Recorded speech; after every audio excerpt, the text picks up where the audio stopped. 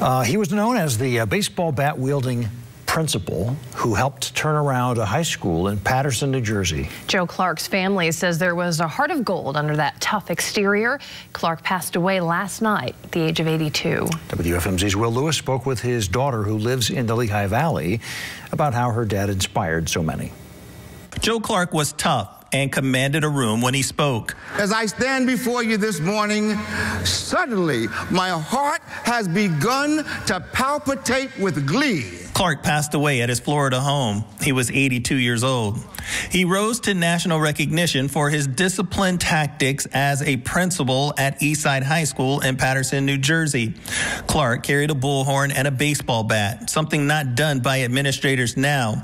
Some may think the bat was to help in the tough halls of Eastside, but it was a metaphor to help students succeed. The baseball bat was, hey kids, you have, it's your turn to bat what are they going to do? Hit a home run to strike out. In 1989, Morgan Freeman portrayed Clark in the movie Lean on Me. He was surprised. Uh, he thought it was a joke when they first came to ask. Clark's family says he was always wearing a cowboy hat and supporting his three children who all excelled in track and field.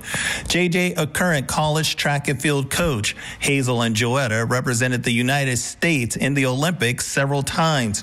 He was also seen supporting all his grandchildren at events, including Saucon Valley track and field standout and now University of Florida athlete Talitha. He was like the forerunner of uh, Tiger Woods' parents or Venus Williams' parents who put them in events and, and, and sports that were not the common sports for uh, black Americans. The Clark family thanks all those who reached out and say they will carry on the good work of Joe Clark. When it's all said and done, that's all you really have is your legacy to leave for your family and for the world. Will Lewis, 69 News.